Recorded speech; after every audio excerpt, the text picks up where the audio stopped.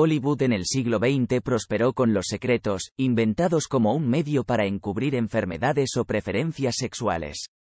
Una de esas fachadas se refiere a Rock Hudson, quien ha mantenido a su joven amante con un diagnóstico fatal durante muchos años. Rock Hudson fue uno de los actores de cine más cotizados de su época. Su vida comenzó en Illinois, nacido de Roy Harold Serer y Catherine Good. Antes de que cumpliera los 10 años, sus padres se mudaron. Su madre se casó con Wallace Fitzgerald poco después, pero la vida del joven Hudson se volvió insoportable cuando su padrastro se volvió abusivo y con frecuencia se burlaba de él por su interés en la actuación, obligándolo incluso a llevar su apellido. En el fondo, siempre había querido ser actor, pero su incapacidad para recordar las líneas de las obras escolares le impidió comenzar una carrera como actor a una edad temprana. Inmediatamente después de graduarse de la escuela secundaria, comenzó a trabajar en la oficina de correos y luego sirvió en la Segunda Guerra Mundial como mecánico de aviones. Después de que terminó la guerra, se convirtió en camionero y, en su tiempo libre, pasaba el rato en las puertas del estudio, entregando sus fotos a los productores. Henry Wilson, un cazatalentos y futuro agente, lo vio y cambió su nombre de Roy Harold Serer, Jr., se llenó los dientes y lo ayudó a aprender a montar, esgrima, cantar y, lo que es más importante, actuar. Punto. Pero fue su apariencia y tamaño sobresalientes lo que lo ayudó a conseguir sus primeros papeles. En 1948, a la edad de 23 años, asumió su primer papel en Fighter Squadron. Ocho años después de su debut, fue nominado por su papel en Gigante. Hudson aparecerá en muchas películas populares, incluidas Seconds, Pillow Talk, The Lawless Breed, All That Heaven Allows y The Tarnished Daniels, entre otras.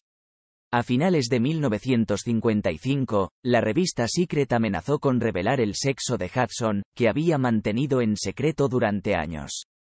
Poco después, se casó con la secretaria de Wilson, Phyllis Gates. El matrimonio llamó la atención porque parecía ser un truco destinado a disipar sus rumores homosexuales, pero Gates insistió en que se casó con el actor por amor. Sin embargo, Gates solicitó el divorcio tres años después. Ella afirma que está pasando por una crueldad mental y Hudson, sorprendentemente, no se opone al divorcio. De hecho, pagó la pensión alimenticia de Gates durante los siguientes 10 años. Gates no se volvió a casar. A pesar de sus mejores esfuerzos por mantener en secreto sus preferencias sexuales, una fuente reveló una vez que muchas figuras de Hollywood ya conocen su secreto, incluidas sus amigas, Elizabeth Taylor y Marilyn Monroe. Entre 1962 y 1965, Hudson se encontró en una relación secreta con Lee Garlington, quien desde entonces ha sido abierto sobre su torbellino de romance gay con la estrella de Lovers Return. Garlington recuerda su primer encuentro diciendo que no había nada del otro mundo, pero pronto no se separaron. Sin embargo, el incidente tuvo que mantenerse en secreto y Garlington contó cómo se escapó después de pasar la noche en casa de Hudson, Garlington dice que no se dio cuenta de cuánta influencia tenía en la vida de Hudson hasta que leyó su biografía, en la que Hudson llama a Garlington su verdadero amor. Su historia de amor secreta se rompió cuando un fan entró en la casa de Hudson para encontrar pruebas de su género. A pesar de no encontrar nada, Hudson todavía estaba bastante conmocionado y decidió terminar con el asunto. Se dice que tuvo más aventuras secretas con otros hombres, incluido su agente Wilson, pero una de las más memorables fue con un actor más joven, Mark Christian.